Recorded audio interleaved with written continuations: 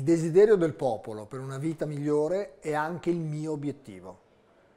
Furono le parole di Xi al suo discorso di inizio mandato come segretario generale del partito, un mandato che, con lui e per lui, è poi diventato potenzialmente a vita.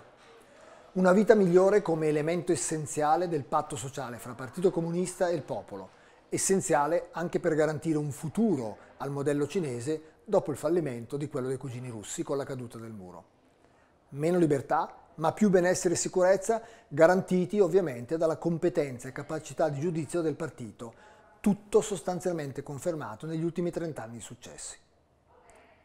Il patto reggerà l'urto del coronavirus? Dipende ovviamente da durata e impatto delle crisi, quella sanitaria, già evidente, e quella economica che muove i primi passi.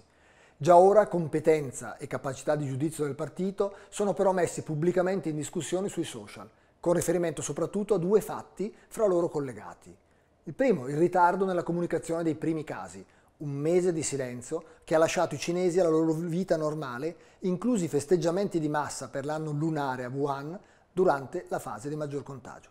E poi le accuse delle autorità locali nei confronti di Li Weilian, il primo medico a denunciare la diffusione del virus, alla sua morte, dopo il contagio, è diventato un eroe della difesa del benessere dei cinesi contro l'irragionevolezza dei leader. Non possiamo però sottovalutare il fortissimo senso di unità nazionale cinese che la tragedia collettiva potrebbe ulteriormente rafforzare, né la potenza di reazione del partito di fronte ai primi traballamenti. Xi è stato fuori dai riflettori per alcune settimane, per poi tornare in ballo, ballo in maschera, per sostituire i leader locali, creare un potentissimo gruppo di lavoro per l'emergenza, spedire il Premier nelle zone più a rischio e soprattutto per lanciare una guerra del popolo al coronavirus. Una guerra che evoca Mao e l'antico patto sociale che univa pienamente di fronte alle sfide il popolo e la leadership una leadership che impara dagli errori e posticipa persino il ritrito dell'Assemblea nazionale del popolo perché metà dei delegati sono anche leader locali che devono rimanere in prima fila a combattere. Forse anche perché 8.000 persone in una sala sarebbero state a forte rischio contagio, forse.